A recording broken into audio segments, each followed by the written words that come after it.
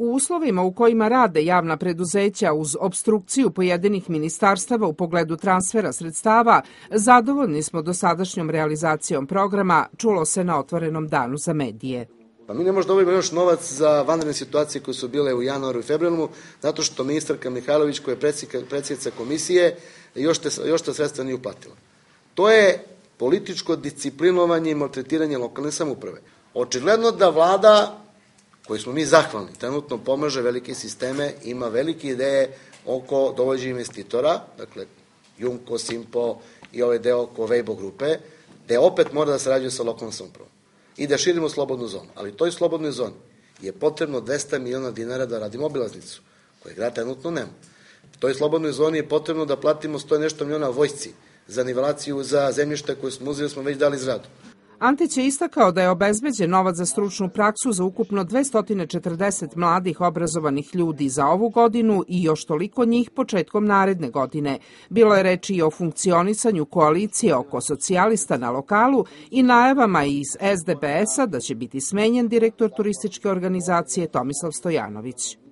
SDPS ima svoje organe partije, ima svog predsednika, on je naš koalicijani partner, onako kako se SDPS bude izjasnio a, po pitanju svog člana koga su predložili na određeno mesto, na koalicijnom sastanku o tome će se a, zauzeti stav i dogovor, jer nismo samo mi u koaliciji. Najavljeno je da će socijalisti Vranja 16. oktobra obeležiti 25 godina postojanja i neprekidnog učešća u radu parlamenta Republike kao i gradske skupštine. Mi ćemo posle 16. ući u izbornu kampanju.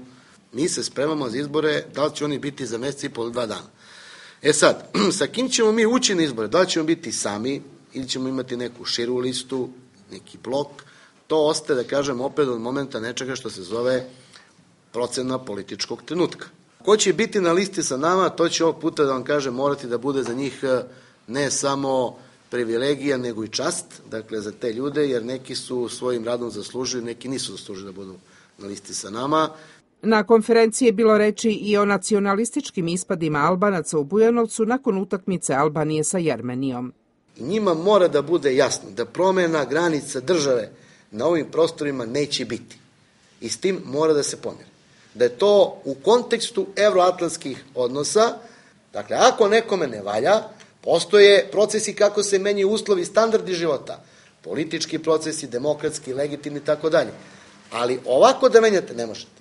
U Vranju smo zadržali mir i stabilnost jer nije bilo većih turbulencija na političkoj sceni grada, ocenio je Antić.